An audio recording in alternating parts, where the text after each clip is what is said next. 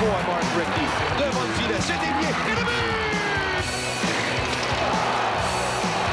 Oh, Brown takes a hit from and away. Paul Correa the glass. Oh, Finds. Back to Central. Gets it out. Door to